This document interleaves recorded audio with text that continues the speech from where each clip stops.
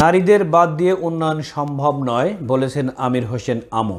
আওয়ামী লীগ উপদেষ্টা পরিষদের সদস্য এবং কেন্দ্রীয় চোদ্দ দলের সমন্বয়ক ও মুখপাত্র আমির হোসেন আমু বলেছেন, বর্তমানে বাংলাদেশে সার্বিক উন্নয়নের পাশাপাশি নারীর জীবনমানেরও উন্নয়ন হয়েছে। দেশের অর্ধেক নারী গোষ্ঠী এই নারীদের বাদ দিয়ে বা পাশ কাটিয়ে কোনো উন্নয়ন সম্ভব নয়। বুধবার ঝালকাঠি জেলা শিল্পকলা একাডেমিতে আন্তর্জাতিক নারী দিবসের আলোচনা সভায় তিনি একথা বলেন। আমির হোসেন আমু বলেন, প্রধানমন্ত্রী শেখ হাসিনা প্রতিটি ক্ষেত্রে নারীর ক্ষমতায়ন সহ তাদের এগিয়ে নেওয়ার জন্য কাজ করছেন। তিনি ক্ষমতায় আসার পর দেশে নারীকে প্রতিটি ক্ষেত্রে স্বাবলম্বী করা হচ্ছে।